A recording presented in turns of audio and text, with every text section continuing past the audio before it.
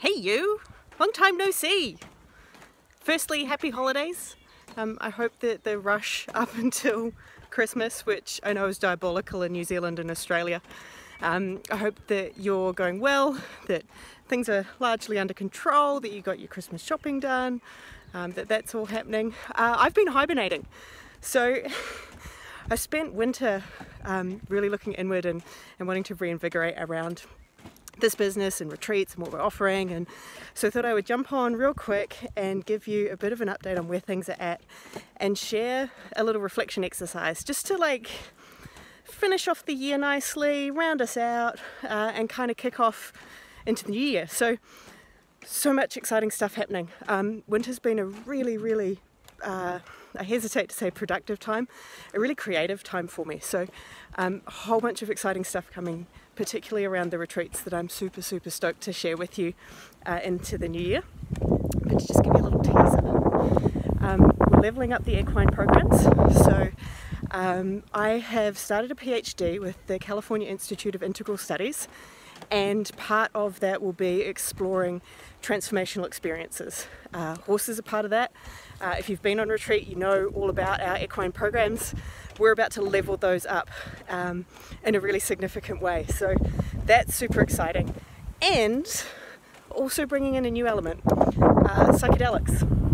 We've got some super cool collaborations coming up in future, so keep an eye out for those. But I think really this is about just leveling up that retreat experience. I'm super, super excited to share all of this with you. And um, what we're about to do is to take both the equine facilitated learning, uh, but also the psychedelic aspect out of therapeutic use and bring it into leadership and learning development, bring it into the mainstream. So keep an eye out for that. It's going to be super, super exciting. Um, that's been incubating for a little while. Um, so yeah, we'll share more about that in the new year. But in the interim, I wanted to spend some time today and share with you a little exercise which is all about reflection uh, and, and also seeing into the future a little bit. I thought that could be a really nice way to round out the year. So I learned this from um, a man by the name of Ram Charan, who has an amazing book called The Attacker's Advantage. Uh, it's about turning uncertainty into breakthrough opportunities.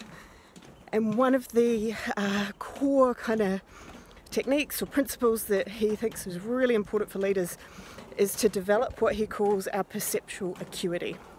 What does he mean by that? Well, what he's talking about is this ability to see around corners. So, in a world where we have a whole bunch of ambiguity, how do we build techniques for working with that? Uh, having a crystal ball is great, that's kind of where he's going with this perceptual acuity piece. It's about seeing around the bend. It's about seeing the catalysts for structural, like deep structural change that are coming at you in the business environment and then working out how to respond.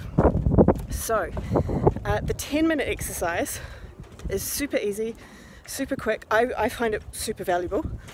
Uh, and I thought it's something that you could start to incorporate with your teams in the new year. So, goes something like this. For every meeting that is one hour or longer, ask a member of your team, take, take the time, take the 10 minutes at the start of every meeting that is more than an hour long, and ask one of your team members to present on something that they're seeing. Uh, a catalyst in the environment that they think is going to have that deep structural change. And so, working with that ability to identify these incidents, you want your team member to go and do all of their research on what this particular situation might be that's emerging. What is this catalyst that they're seeing? And they're not allowed to talk to other team members, they're not allowed to talk to consultants. Ideally, it's something that's outside of your business and organization and your context, even your industry.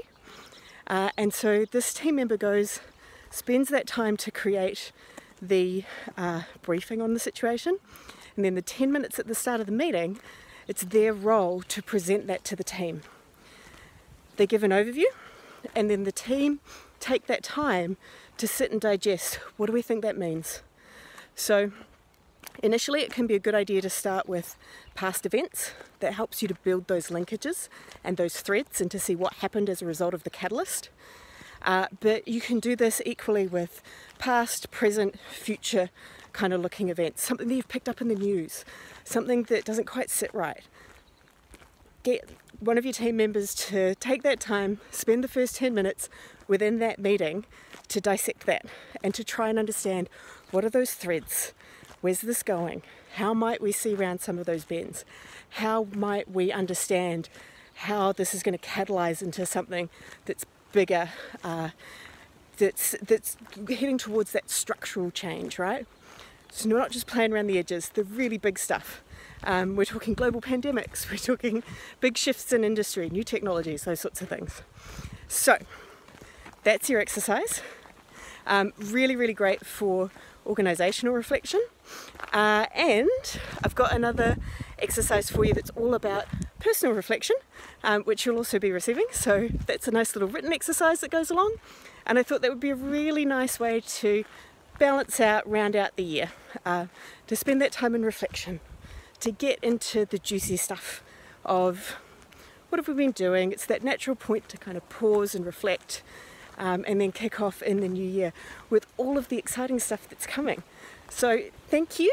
I wish you all the best for um, the holiday season, and I hope wherever you are in the world, you're having an awesome, awesome day. I'll see you real soon.